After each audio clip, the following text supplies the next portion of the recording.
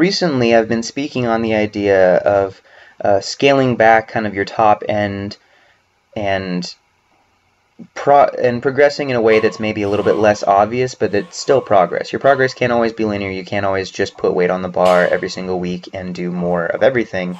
You have to kind of wave uh, your focus, especially when you get more advanced into your adaptation, where it takes you a little bit longer to show that progression. And I've been very fortunate that my uh, I, I scaled some things back in my last training block and was able to progress as a result of all that base building. So now I'm back to building some more base potential protocols and uh, a lot of volume.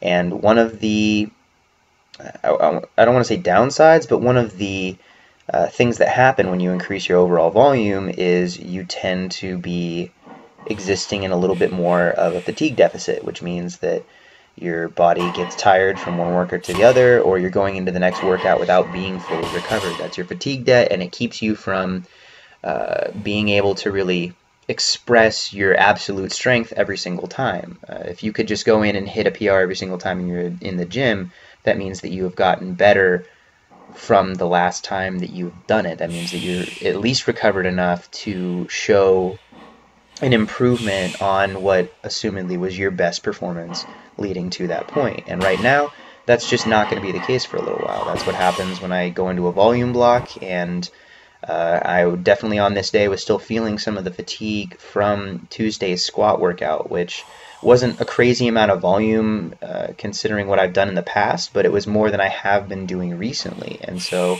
you kind of have to build up that volume tolerance, and that's part of the grind. So on this day, I was working up with my deadlifts. I was planning on doing some triples.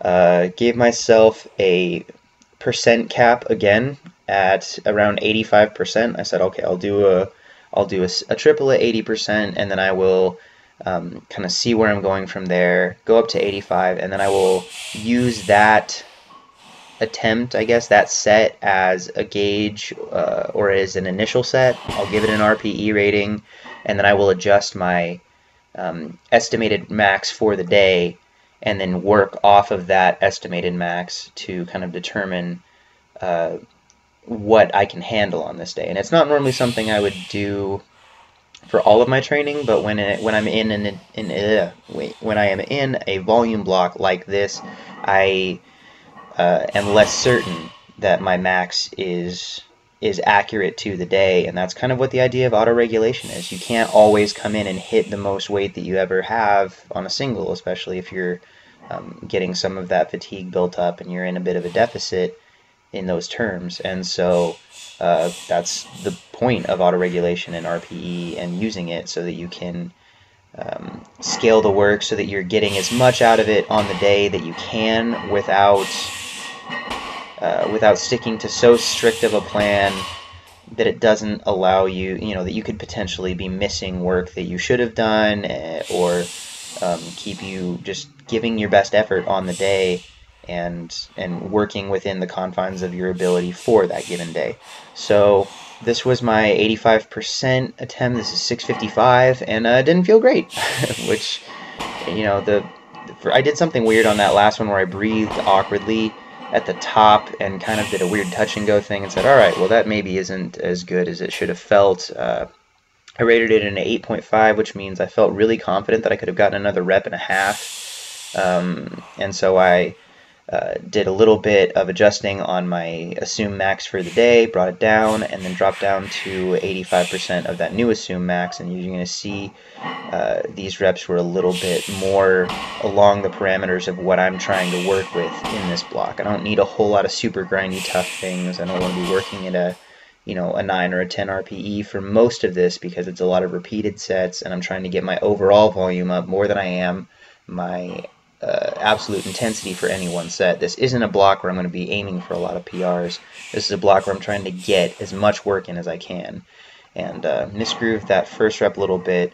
Definitely felt better on the second and third. But that was the uh, deadlifting that I had. And then I'm going to move from my sumo pulls into kind of a weakness addressing thing. This are my stiff leg uh, conventional stance pulls. I did uh, an eight minute AMSAP, which is many sets as possible in eight minutes, and said, okay, I got 405, I'm going to do sets of eight. And I have, uh, this is a good and appropriate opportunity, I feel, to address some of the questions I got in my last video or some comments that people had.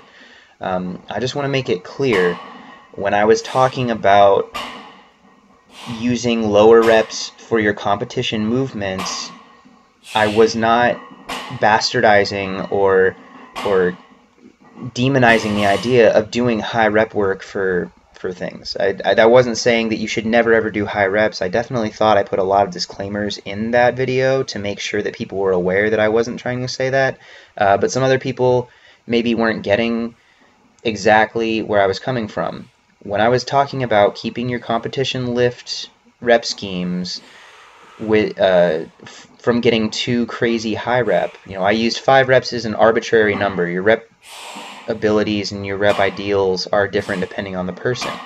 But I would say in general, I would rather see someone who is training specifically for powerlifting who doesn't have the goal of general strength gain or general muscular uh, improvement and hypertrophy. If you're not trying to be a bodybuilder or a power builder, I'm not talking about people who are like, I want to be the best of both worlds. I'm talking about someone who is specifically trying to get the best total they can. You have to practice the skill of the power lifts in the context of using uh, using those movements and rep ranges in a heavy enough range that you're practicing that skill because there is not as much of a carryover from doing those competition lifts for a higher amount of reps where you are going to increase your potential for uh, technical breakdown due to something other than pushing the heavy weight and not having enough strength and being able to keep your technique solid for a small amount of reps with a heavy weight. I'm totally for the idea of using rep work in a supplemental exercise or an accessory movement or even a variation of the movement to get more uh, muscle activation, hypertrophy, general strength gain, weakness uh, improvement. I'm all for all those ideas. But if you're going to be doing your competition lift, I think you should try to keep it more specific and fill in the rest of your volume and other things with an environment or in a context where it's not going to negatively build less than ideal motor patterns because you have the fatigue from the set breaking you down. I had some people say, well, what if you're, um, what if you can keep your uh, technique solid even in high rep sets? And while that is something that's, you know, people can say that, yes, I do that, it's different. Your technique is different on a max double, single, triple, four, or set of five than it would be on a set of 10, 12, 15, 20. It's just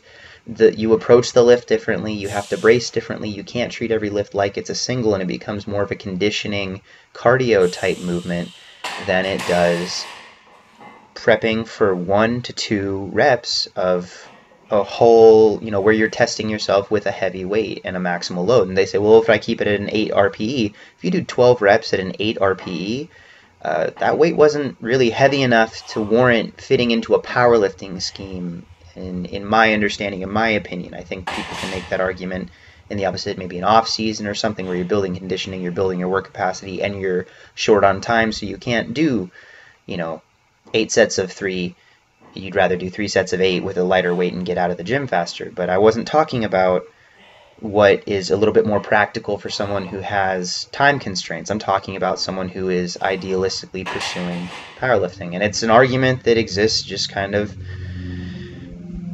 because I have time to talk about it and you guys have time to talk about it. I'm not saying it's what everyone should do or, or that it hurts my feelings if someone disagrees or has a different view on uh, how ideally to train. I don't think that there's any one way to do it, but I think it's important to at least have discussions to build your own understanding of a situation and not just rely on the constant cop out of well it works for me. It's you have to challenge your ideas and challenge your thoughts and challenge the way that you look at the work you're doing or else you resign yourself to never getting better at it.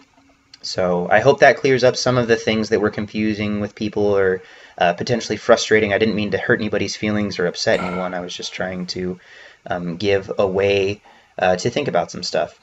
So anyway, after my eight minutes of stiff leg deadlifts, I did my close grip bench pressing. I kept those, uh, my five heavier sets of two, and then I did some ultra wide grip. So my finger, my hands were outside the rings, and was doing sets of eight, another eight minute AMSAP. I ended up getting four sets there.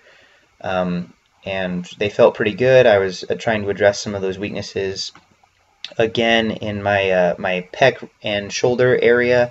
Um, just keeping them really controlled with a light enough weight that I could get some muscle activation and some hypertrophy, and again focus on those weaknesses without throwing off my motor pattern from my normal bench press.